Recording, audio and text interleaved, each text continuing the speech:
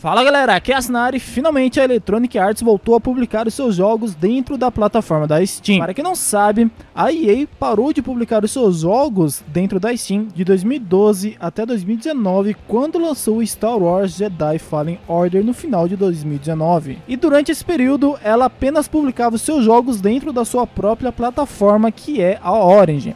Mas parece que a estratégia não deu muito certo a longo prazo, então a Electronic Arts fez uma nova parceria com a Valve no ano passado para voltar a publicar os seus jogos dentro da Steam, junto com o EA Access, que até então é um serviço exclusivo para consoles parecido com o Game Pass. Bom, e hoje mesmo, dia 4 de junho, a EA adicionou vários jogos dentro da Steam e todos estão com descontos nesse exato momento aqui no PC. Foram adicionados hoje 13 jogos e começando com Need for Speed Hit, último jogo da franquia de Need que foi lançado em novembro do ano passado, saindo aqui por 111 reais na sua versão Deluxe. Sim, isso mesmo, vários jogos que a EA adicionou aqui na Steam apenas possuem vendas na versão Deluxe, não dá para comprar a versão base que é a mais barata.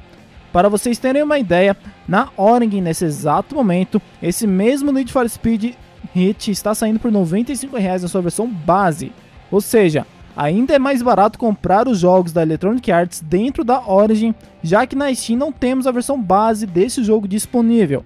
Aqui na Steam só temos a versão Deluxe do Need for Speed Hit disponível para compra. E sim, ao comprar esses jogos, eles vão solicitar acesso à Origin para conseguir jogar. Então você vai precisar ter instalado no seu computador a plataforma da Origin de qualquer maneira. O Need for Speed 2015 também foi adicionado na Steam e está saindo por R$ 29,00 na sua versão Deluxe.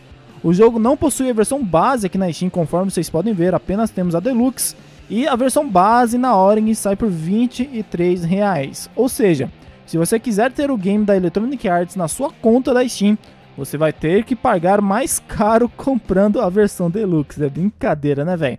Bom, o Need for Speed Payback, que foi lançado em 2017, ainda não foi adicionado aqui na Steam, mas o Rivals foi adicionado e está saindo também por R$ 29,50 na sua versão Complete. Mesma coisa, não temos a versão base do Need for Speed Rivals disponível na Steam, apenas a versão Complete. Temos outros jogos que também estão apenas com a versão Deluxe disponíveis na Steam, como por exemplo Plants vs Zombies Battle for Neighborville saindo por R$ 79,00. Só tem a versão Deluxe disponível aqui na loja da Steam.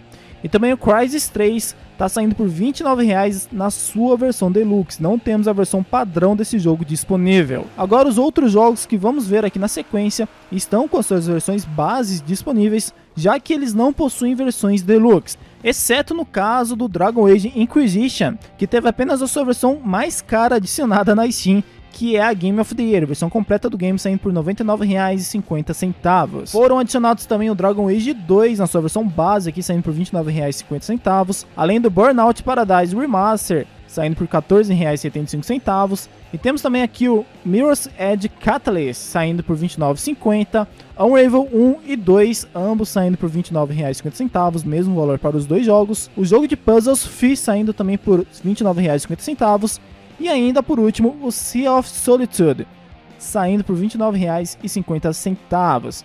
Esses são os 13 jogos que foram adicionados da EA aqui dentro da Steam. Jogos aí como FIFA, The Sims, Battlefield e Apex Legends ainda não foram adicionados, mas a EA disse que vai adicioná-los futuramente em outros lotes de jogos. E que também o EA Access será lançado ainda nesse ano aqui na Steam, que vai ser o primeiro serviço de assinatura paga dentro da plataforma da Valve.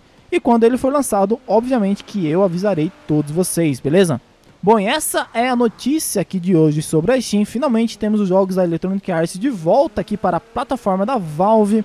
Não esquece de conferir os links dos jogos que eu vou deixar no comentário fixado. É só descer um pouco a página que você vai achar os links de todos os jogos. E logo mais hoje, às 9 horas da noite, eu vou estar ao vivaço lá no site Roxo de Lives. Você está mais do que convidado a participar. Vou deixar o link do canal de lives aí na descrição. E se você curtiu o vídeo, peço que deixe seu like, compartilhe com seus amigos inscreva-se se for sua primeira vez aqui na área. Vejo vocês na próxima e falou, grande abraço, até mais!